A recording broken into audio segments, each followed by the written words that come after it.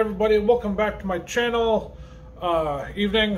Uh, it's dark outside, so we'll call it evening. Uh, it is currently uh, November, and Christmas is coming soon. So starting to think about uh, different projects for different people, and I saw an advertisement, so I had to buy it, and it was this guy.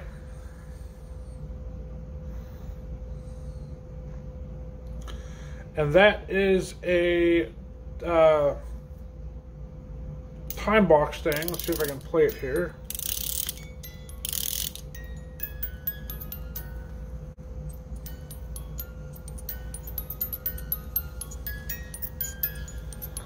Make it a little louder.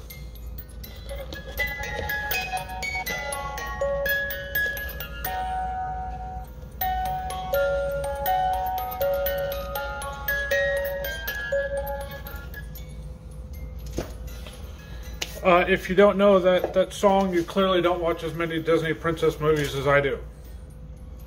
Uh, so, what I want to try and make, I'm a little nervous because I've never made anything like this before, and I really don't want to mess it up, but try to make a music box and a little uh, keepsake box for my daughter who just turned six uh, for Christmas.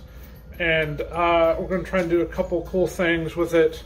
Um, I have been trying to draw just my, an idea I had. Trying to sketch it out. I haven't really come up with any sizes other than the, the base of the music box part itself. Um, incorporate some cool colors. I'm not sure, exactly sure. So I'll keep it going during the process. Um, yeah, hopefully this turns out well. See you later.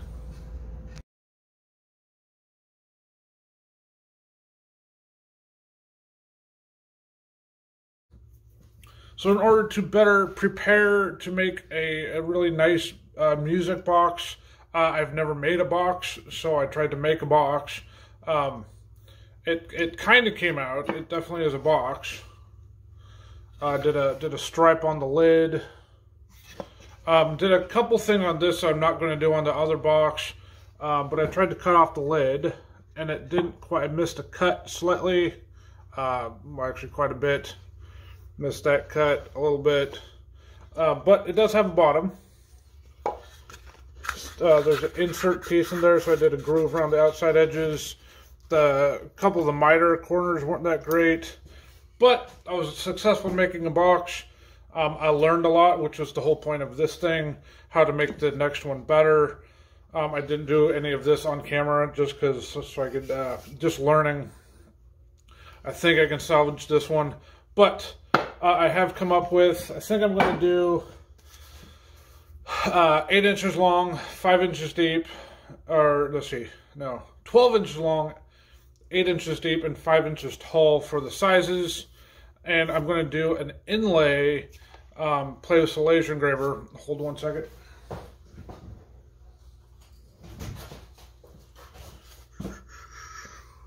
There's the movie reference, if you didn't figure it out already um, do that uh, on the lid. So hopefully this works. Uh, so now I'm going to start cutting some, some pieces for the box.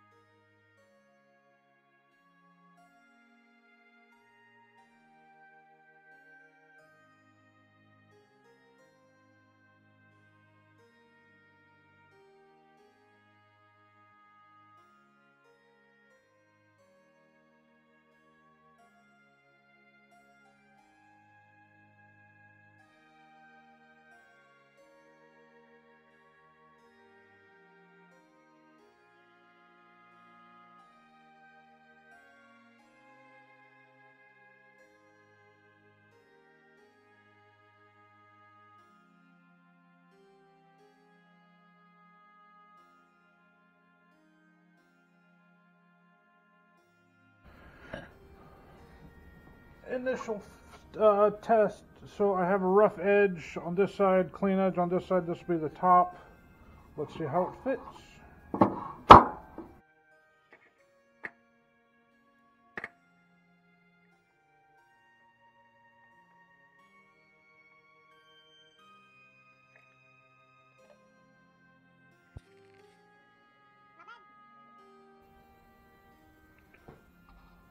I went back through, shaved all, just took like a 16th of an inch. Now all the tops are nice and even. Shaved off that edge. So it looks like my some of my bevels here, my mitered edge, doesn't quite line up. Need to do some sanding on the corners. Insides aren't. Uh, they're pretty close. So, let's hit the uh, sander over there.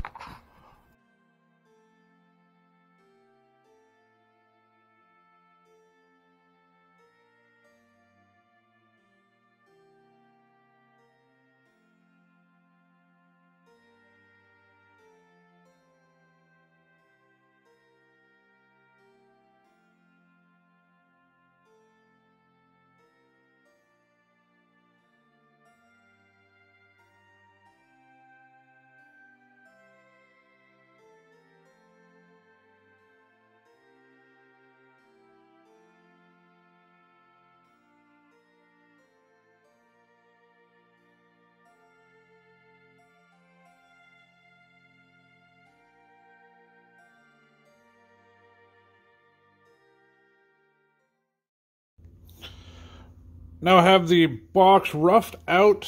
Uh, the edges are mostly there. I think I need to do a little more sanding, but there's now a floor in it. So there's a groove down the inside edge with the floor piece in there. I labeled the back, front, left, right, so if I put them back together, I know where they go. So the lid, so this is one piece of the lid. It's going to go on top. What I'm actually going to do is create a groove around the inside edge so it can sit flush uh, that needs to go down. And then the music box itself is going to sit back here, so I have to figure out where the holes go. And there's a big circle. A hole for a Forstner bit needs to go in there. And then a hole will go down through. That the hole, this hole will go come later, but I have to figure out where that hole goes. Um, this one only goes about halfway through, but that's for the mechanics of the music box itself.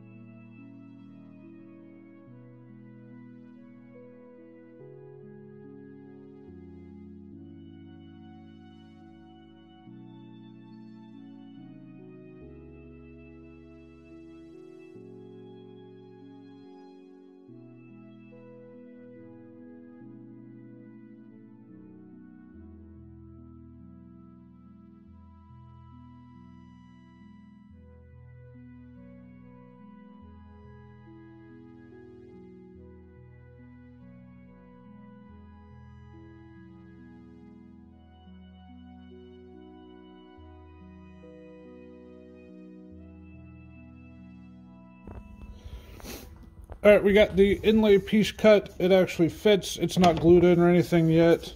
The second inlay piece, actually more important one, sits nice and flush with the top here. This piece will then go in this hole. It's exactly the same size, so it's actually difficult to get out. But you're probably wondering, why does this look so bad? Uh, there's actually a covering of masking tape, and I want to leave that on until I get closer to finish, in case you're wondering what it actually does look like, is that nice walnut finish. So that's going to be looking like that. But I also want to cover up these mitered corners. Uh, they don't look all that great, you know, first real project. So I'm trying to figure out, also want to do like uh, an edge, like a framed edge. So I found this old piece of walnut. I think I'm going to cut this down. So this is about three quarters of an inch thick right now. Uh, I think I'm going to kind of strip it out and uh, see what happens. See if it looks good. May not use that, may go with something else.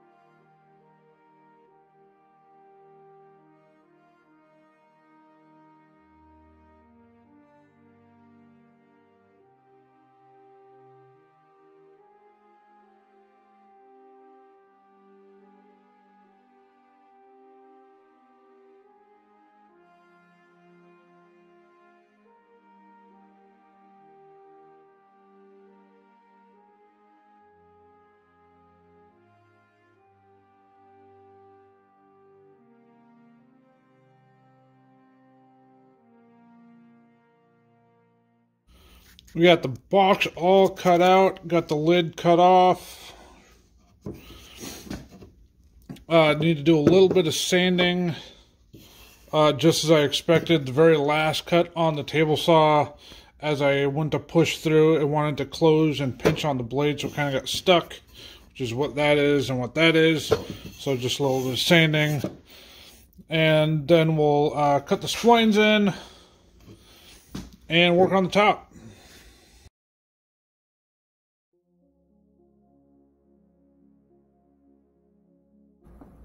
We've had a minor accident as I was handling the